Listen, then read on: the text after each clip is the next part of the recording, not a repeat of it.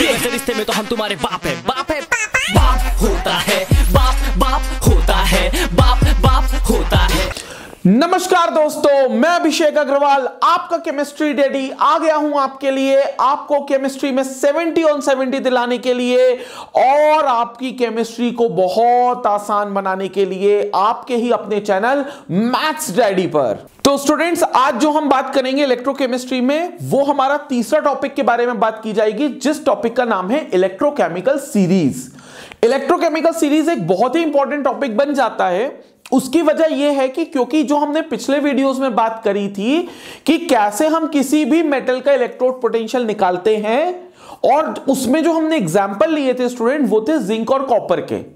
Zinc और copper का electrode potential हमने निकालकर बताया था पिछले वीडियोस में, लेकिन अगर आपने वो वीडियो अभी तक नहीं देखा है तो पहले जाइए सर्च करिए मैथ्स डैडी चैनल पर पार्ट वन, पार्ट टू, दो पार्ट्स में वो टॉपिक आया था जिसमें हमने इलेक्ट्रोड पोटेंशियल के बारे में डिस्कस किया था। सबसे पहले स्टूडेंट आप वो जाकर देखें। अगर आप वो टॉपिक नहीं देख रहे हैं, अगर आप वो वीडियो बिना देखे हुए इस वीडियो को देख रहे हैं तो काउंट ऑन मी आपको ये वीडियो नहीं समझ में आएगा। आपको ये नहीं समझ में आएगा कि क्यों हम इलेक्ट्रोकेमिकल सीरीज़ का यूज़ करके अलग अलग मेटल्स के इलेक्ट्रोड पोटेंशियल्स निकालते हैं। तो स्टूडेंट सबसे पहले आप जाइए, वो वीडियोस देखिए जिसमें हमने इलेक्ट्रोड पोटेंशियल की बात करी थी, जिसमें हमने पार्ट वन में ये बताया था कि जिंक का इलेक्ट्रोड पोटेंशियल कैसे कैलकुलेट होता है, और पार्ट टू में हमने ये बताया था कि कॉपर का इलेक्ट्रोड पोटेंशियल कैसे कैलकुलेट होता है। और उसके बाद फिर आप ये वीडियो को देखना कंटिन्यू करिएगा। तो स्टूडेंट्स जिन्होंने वो पिछले वीडियोस देख लिए हैं, और उम्मीद करता हूँ कि आपको वो वीडियोस बहुत अच्छे लगे होंगे प्लीज़ वीडियोस को लाइक और शेयर ज़रूर करिएगा। चैनल को सब्सक्राइब अभी तक नहीं किया है तो नीचे लिंक पर जाइएगा, सब्सक्राइब का बटन दबाइएगा और सब्सक्राइब करिएगा चैनल, क्योंकि आपको ऐसे ही मज़ेदार केमिस्ट्री के वीडियोस देखते को आगे भी मिलते रहेंगे। अब हम बात करते हैं हमारे इस वीडियो की, जिसमें हम इलेक्ट्रोड पोटेंशियल के बारे में डिस्कस करेंगे। बाकी सारे मेटल्स के लिए, जिसको एक टॉपिक के ज़रिए समझाया गया है, और टॉपिक का नाम है इलेक्ट्रोकेमिकल सीरीज़ तो इलेक्ट्रोकेमिकल सीरीज़ में हम दोस्तों बात करेंगे कुछ ऐसे मेटल्स की, जिनका रिडक्शन पोटेंशियल जानना हमारे लिए बहुत ज़रूरी है। और हमारे लिए ना भी सही तो जितने भी सेल या बैटरी बनाने वाली कंपनीज़ होती हैं, आप जितने भी सेल और बैटरी की कंपनी जानते हो, ड्यूरा सेल, टाटा जितने भी आपने सेल बैटरी सुने होंगे, निप्पो की बैटरी आती है बहुत अलग अलग ब्रांड्स की बैटरीज आती हैं, वो सारी बैटरीज को अगर आप देखोगे तो उनके लिए बहुत ज़रूरी होता है कि किसी भी मेटल का क्या रिडक्शन पोटेंशियल होता है, और उस रिडक्शन पोटेंशियल के हिसाब से वो एक ऐसा सेल या बैटरी बना देते हैं जिसका एक स्पेसिफिक सेल पोटेंशियल होता है, यानी कि एक वोल्टेज आउटपुट होता है। तो स्टूडेंट आइए देखते हैं इलेक्ट्रोकेमिकल सीरीज़ में क्या चीज़ है जो हमको पढ़नी है और कैसे इलेक्ट्रोकेमिकल सीरीज़ की एप्लीकेशन आपको एक क्वेश्चन के फॉर्मेट में आ सकती है या किसी न्यूमेरिकल को सॉल्व करने में आपकी हेल्प कर सकती है।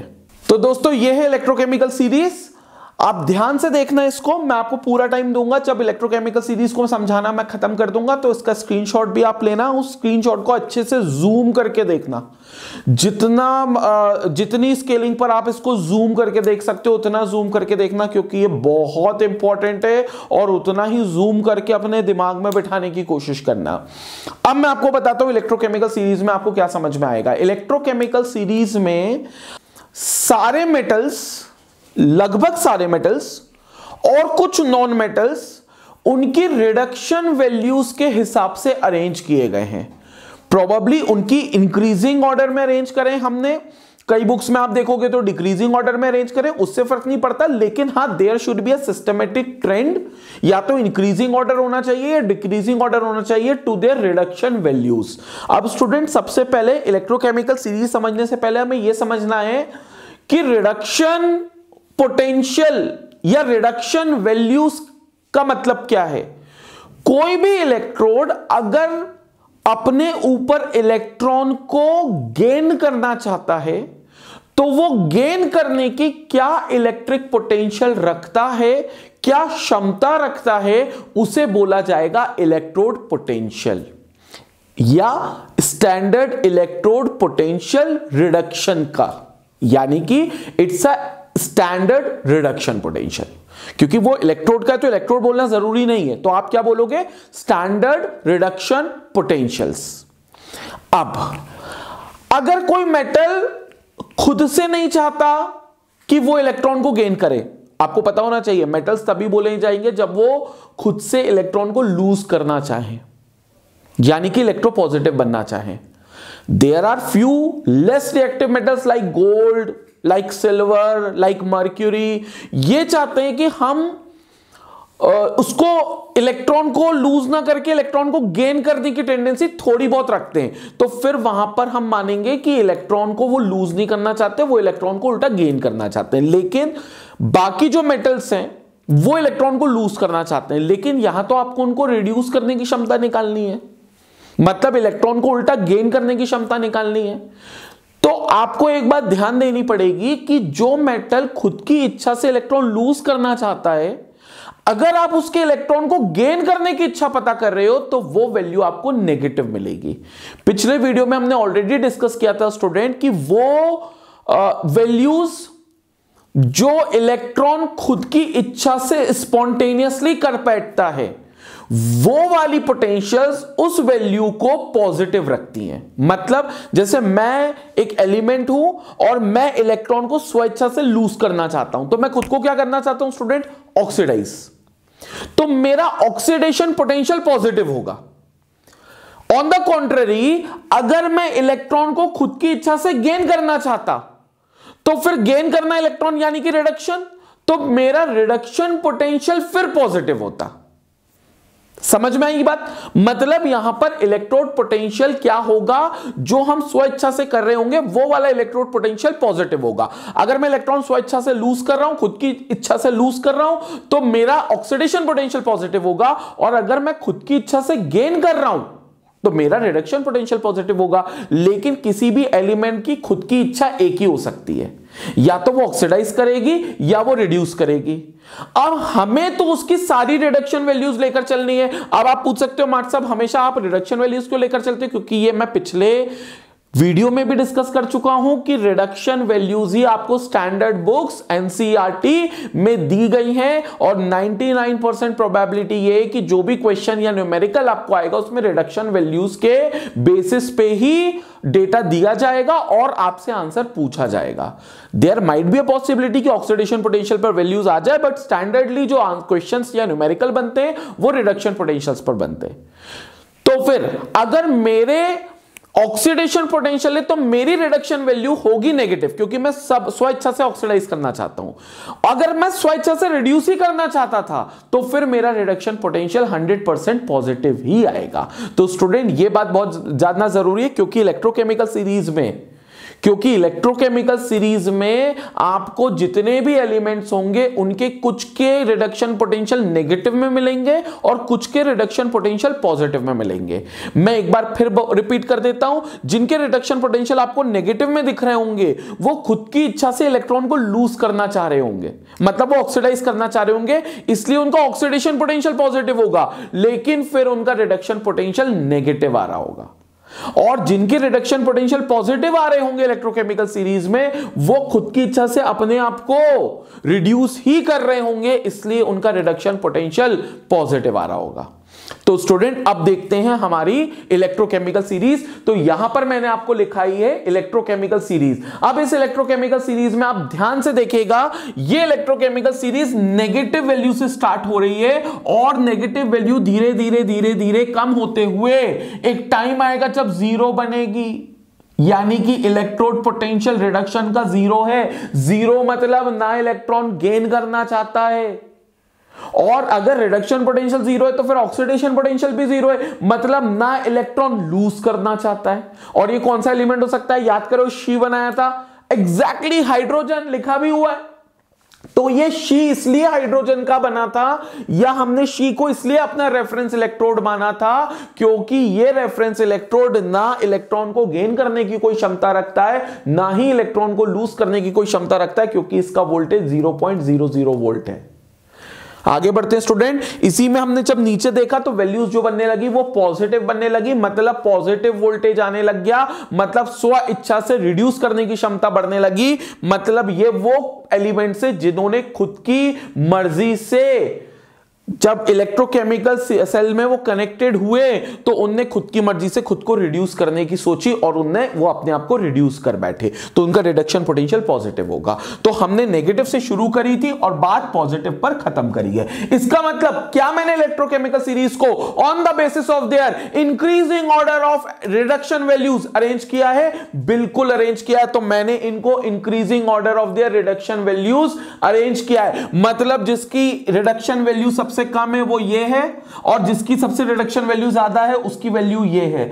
अब हम बात करते हैं एलिमेंट्स की कि कौन कैसी वैल्यू दिखाता है। तो स्टूडेंट यहाँ पर मैं आपको बता देता हूँ लिथियम जो होगा वो सबसे लीस्ट रिड्यूसिंग वैल्यू दिखाएगा मतलब minus three point zero five और आपको पता होना चाहिए कि लिथियम जो है फ़र्स्ट ग्रुप का एलिमेंट है और फ़र्स्ट ग्रुप जो के भी टॉप पर रखा गया है। तो फिर फ़र्स्ट ग्रुप के टॉप पर लिथियम रखा गया है तो वो एल्कली मेटल की कैटेगरी का है। मतलब वो एक बहुत ही अच्छा मेटल है, इसलिए वो खुद की इच्छा से इलेक्ट्रॉन को लूज करना चाहता है। तो वो इलेक्ट्रॉन को गेन नहीं करेगा, इसलिए वो अपना रिडक्शन पोटेंशियल बहुत ज़्यादा माइनस में दिखा रहा है। अगर आप इसका ऑक्सीडेशन पोटेंशियल निकालना चाहते हो स्टूडेंट तो ये माइनस वैल्यू को प्लस में कन्वर्ट कर देना तो ये बन जाएगा प्लस 3.05 वोल्ट्स और प्लस 3.05 वोल्ट बहुत ज़्यादा ऑक्सीडेशन पोटेंशियल होता है। तो लिथियम का रिडक्शन पोटेंशियल सबसे कम है माइनस अब स्टूडेंट एक और बात। जिसका रिडक्शन पोटेंशियल कम है मतलब वो खुद को अपने अच्छे से रिड्यूस नहीं करना चाहता। तो वो खुद को ऑक्सीडाइज करना चाहता है।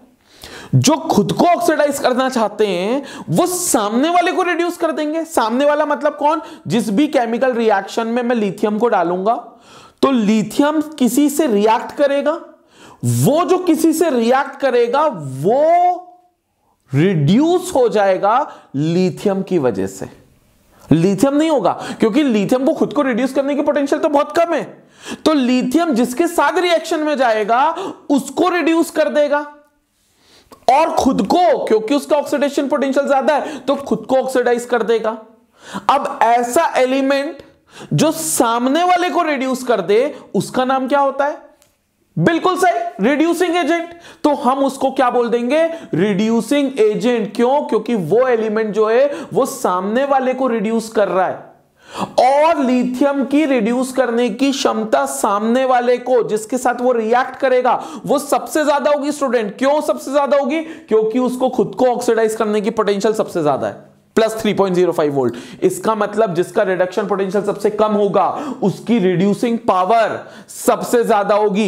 इसलिए मैं बोल सकता हूँ कि जो लिथियम है मेरे पास, वो बेस्ट रिड्यूसिंग एजेंट है। तो it is the strongest reducing agent जहाँ पर मैं लिख देता हूँ स्टूडेंट यहाँ पर S R A will be the strongest reducing agent S R A यानी कि स्ट्रॉन्गेस्ट रिड्यूसिंग एजेंट तो ये स्ट्रॉन्गेस्ट रिड्यूसिंग एजेंट होगा। तो स्टूडेंट याद रखिएगा जो सामने वाले को बहुत अच्छा सा रिड्यूस कर पाए उसका नाम रिड्यूसिंग एजेंट होता है। जैसे मैं आपको बताता हूँ आपने प्रॉपर्टी एजेंट्स देखे होंगे।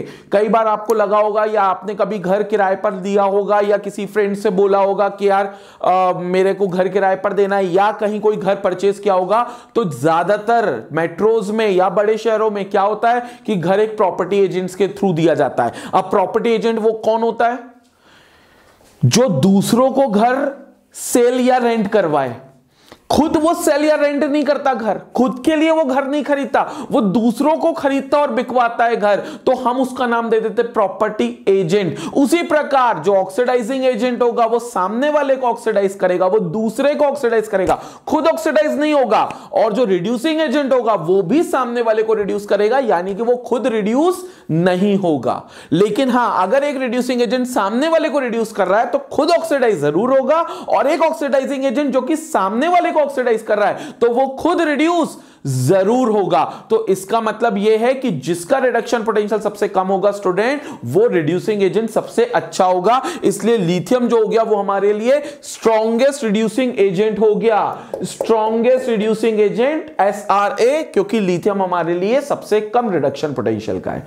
उसके बाद स्टूडेंट आगे चलते पोटेशियम प्लस पोटेशियम में कन्वर्ट हो रहा है minus two point nine three volt calcium plus two calcium में कन्वर्ट हो रहा है with minus point two two point eight seven volt sodium plus sodium में minus two point seven one volt, magnesium plus two magnesium में minus two point three six volt, aluminium plus three two aluminium minus one point six six volt. अब आप देख रहे होगे ये reduce ही हो रहे हैं। N A plus N A में है सी ए प्लस टू सी ए में जा रहा है। मतलब ये दो दो इलेक्ट्रॉन गेन कर रहे हैं, एक इलेक्ट्रॉन गेन कर रहे हैं, तीन इलेक्ट्रॉन गेन कर रहे हैं। मतलब कितने भी कर रहे हो इलेक्ट्रॉन गेन तो कर रहे हैं।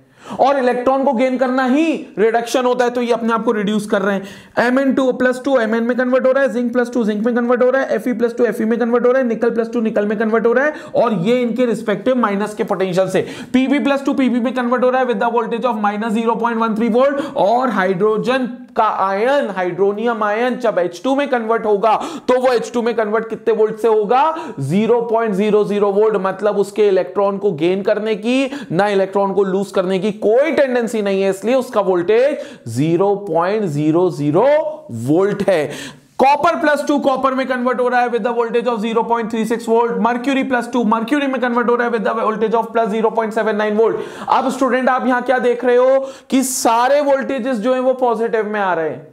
सारे वोल्टेजेस पॉजिटिव में आ रहे हैं। मतलब इनका रिडक्शन पोटेंशियल पॉजिटिव है। मतलब ये वो मेटल्स या वो एलिमेंट्स है जो खुद को स्वेच्छा से स्पॉन्टेनियसली रिड्यूस करना चाहते हैं और रिड्यूस करना खुद की इच्छा से चाह रहे हैं तो स्पॉन्टेनियसली इनकी वैल्यूज़ रिडक्शन की पॉजिटिव ही आएँगी।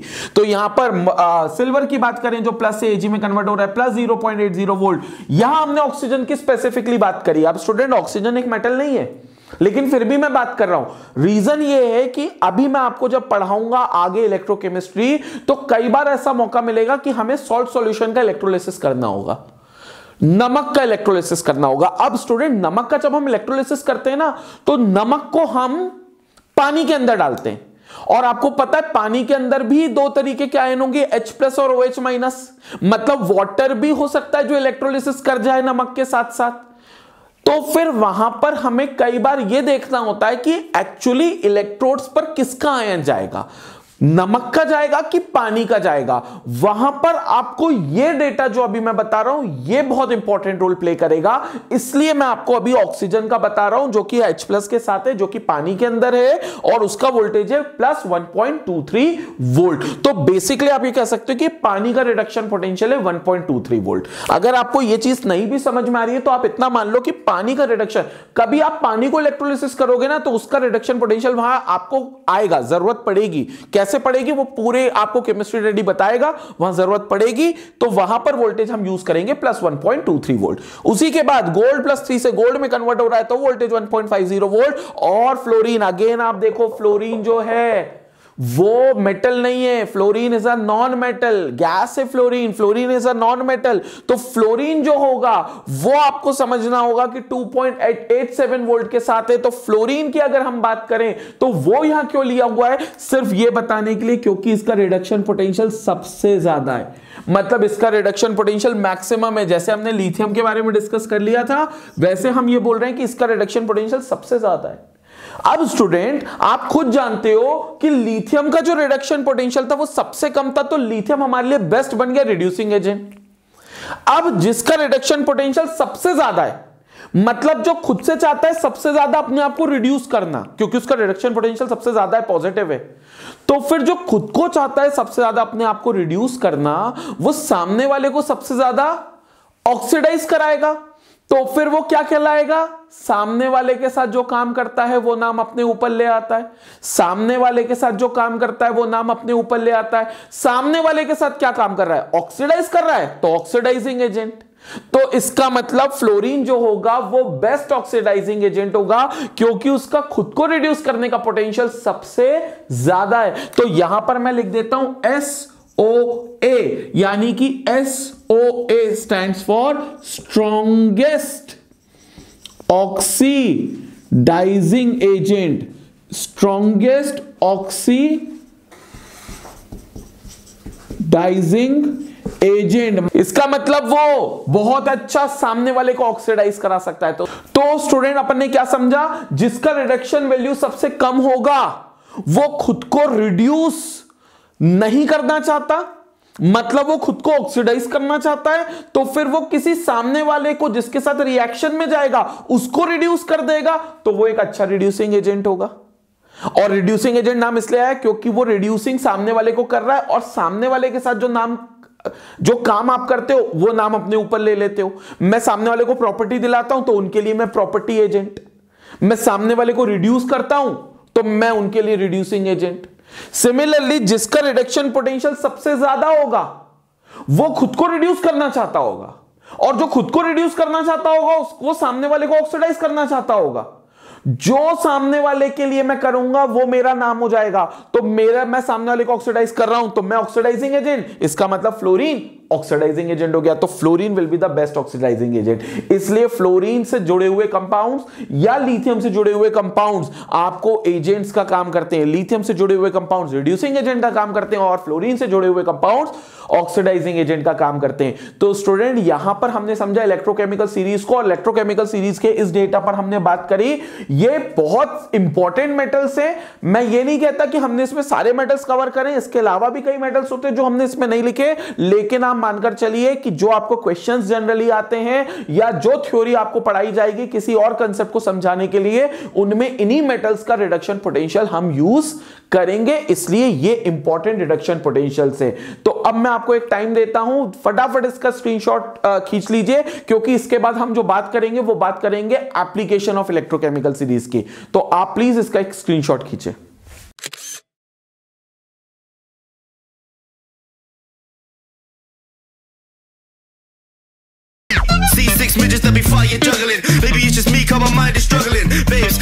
Is acting like a clown. Know what's going down every time that we are down. Take a look through the peephole. Yo, everybody's getting geek, bro. Stop the hate and let them leaks know that we turn the club into a freak show.